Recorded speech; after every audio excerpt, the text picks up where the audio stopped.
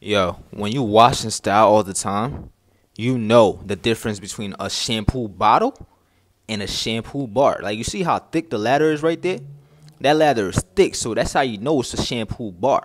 All right, the texture. Uh, yo, do I even need to say anything? Do do I need to say anything? Look at that lather, man. Y'all y'all see the lather? Yo, that's how you know you're doing something right.